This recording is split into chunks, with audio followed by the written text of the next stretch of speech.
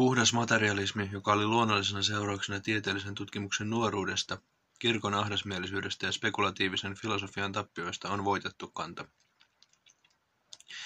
Tiede on edennyt siksi monta askelta ja tehnyt siksi monta huomattavaa havaintoa sekä inhimillisen sielun että näkymättömän luonnon aloilla, että materialistinen kieltäminen on järjetön.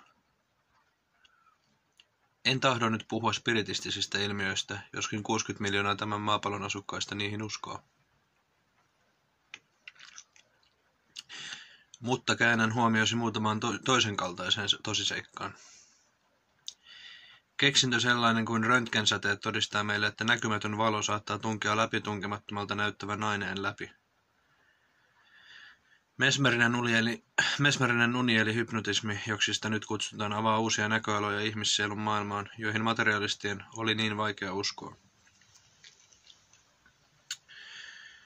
Hypnoottiseen uneen, transsiin, vaivutetun henkilön tuntopiiri voi olla siirrettynä fyysisen ruumiin ulkopuolelle, niin että hän tuntee kivun, kun pistän neulalla kohtaan, joka minun silmissäni näyttää tyhjältä ilmalta.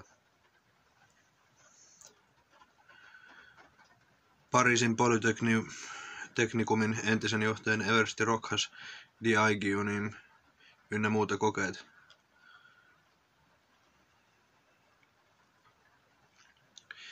Hypnotisoitu henkilö voi tietää asioita, jotka ovat hänelle tuntemattomia ja suorittaa tekoja, puhua vierailla kielillä ja niin edelleen, joihin hän ei kykene hereillä ollessaan. Ja nyt tuo alahuomautus tuli näköjään väärään paikkaan, että nyt kävi näin.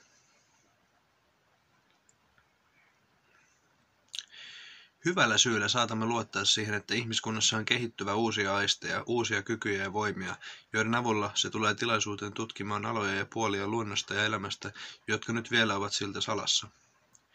Ja silloin tämän näkymättömänkin luonnon tutkiminen on oleva aivan samalla lailla tieteellistä kuin nyt on näkyvän maailman.